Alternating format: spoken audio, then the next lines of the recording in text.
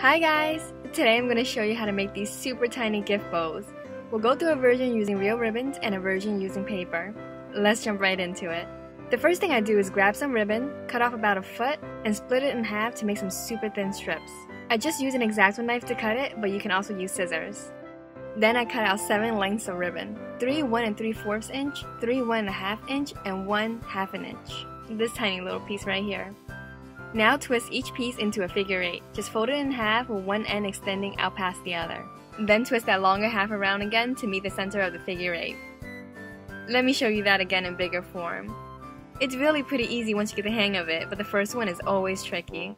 Use superglue to secure the ends. Do this for all the long six strips. For the tiny half inch strip, just roll it into a circle and glue the end. Stack and glue the three longer figure eights together with some super glue. Then stack and glue the three shorter figure eights together. Glue the smaller stack on top of the bigger stack. Then glue the tiny circular piece into the center. There you have it, super easy. Let's make another one in gold.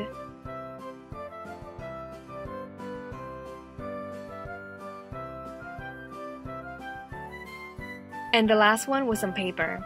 I'm using pink scrapbook paper. It's exactly the same process. The only difference with paper is that you can use regular Elmer's glue instead of super glue. I know I've said glue like a hundred times in this video. Now you know how to decorate all your miniatures this holiday season with festive little bows. Let me know if you prefer the ribbon or the paper version in the comments below. I hope you liked this video, give it a thumbs up if you did, and make sure to subscribe for more. I have two new videos every single week. See you next time. Bye!